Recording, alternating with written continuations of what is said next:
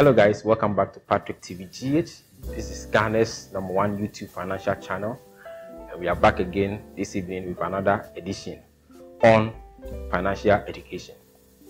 In our last episode, I explained to viewers that we are going to look at how we can calculate our interest on investments.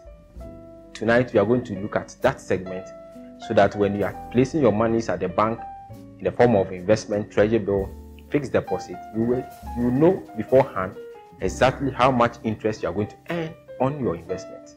People keep asking me, oh, I went to the bank, I expected 13%, 15%. Within three months, when I went for my money, the interest I'm getting is too low. The bank is cheating me.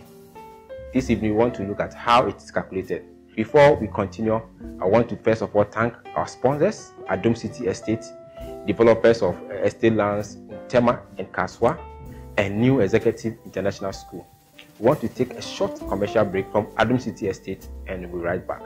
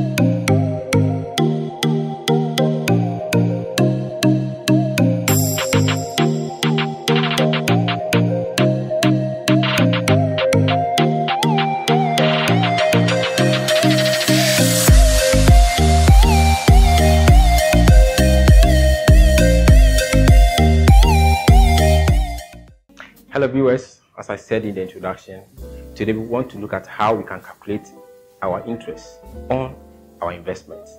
So I have the board behind me which says that calculation of investment returns. Today we are going to focus on two forms of investment, that's treasury bill and fixed deposit. They, they work almost in the same manner. So let's say you, you have been saving, listening to Patrick TV GH, you've been saving you have let's say a 10,000 cedis at a bank and from today's discussion you want to go and invest the 10,000 in a universal banks or any other financial institutions um, fixed deposit. So let's say your savings which you want to invest is 10,000 cedis you go to the bank the bank says that for 10,000 if you want to invest for let's say one year we are going to give you 15% returns on the 10,000 for one year. Now let's watch this. What the bank is saying is that if you keep this 10,000 with them for one whole year, that's 365 days. That's 12 months. You are going to earn 15%. So let's do a rough calculation. What it means is that it's going to be 10,000 by 15% when I was in school, my math was not too good. But as for this, I know the answer. The answer will be thousand five. As interest that you are earning on the ten thousand for one whole year. That is 365 days and 12 months. So thousand five is, is cool, it's cool money. But someone will say, Oh, why should I leave my ten thousand per bank for one year and I'll be getting thousand five? Yes, the bank is also using that ten thousand for other businesses. And maybe the bank will be getting 18%, 20%, so their margin will be let's say 3% or 5%, which is okay. You might say that, oh, let me, why don't I go and start a business? If you don't take your time, you start the business without proper planning. In one year, you will not have your 10,000, it's gone. You not have your interest of 1,005 that you would have gotten the bank. So you have to take your time and do proper analysis before you engage yourself in a business. But if you want to go with the bank, the 10,000 is going to give you 1,005 for one year. So this is a simple calculation. But there are instances that you go to the bank and you tell the bank, I have 10,000, but I want to do it for half year. So half year means six months. And the bank may say, Oh, we will give you 15% per annum. When the bank says per annum, it means that if you leave that money for one whole year, you are going to get the full 15%.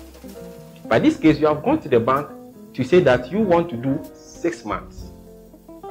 So the earlier calculation that we did, the bank was giving you 1005 for one whole year.